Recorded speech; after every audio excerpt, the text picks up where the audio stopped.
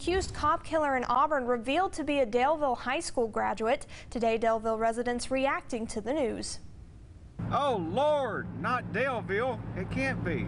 That's impossible. Surprise and disbelief in Daleville as the news that Grady Wayne Wilkes, the man accused of injuring two Auburn officers and killing one, was a former resident and even a Daleville High School graduate. I hate it to, for the law enforcement community and our community to hear that that came out of here. The news becoming so widespread that some residents were first told by family members that don't even live nearby. My sister lives in Phenix City and she called me.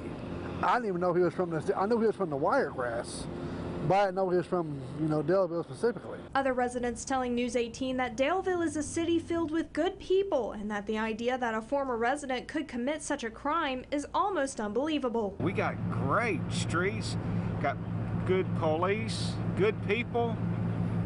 I'm just really stunned that this happened. Now, some saying they're worried that Wilkes' actions will reflect poorly on the entire city. Kind of puts a bad mark on Daleville, the people here, but not everybody's like that, and you got a bad seat everywhere, I reckon.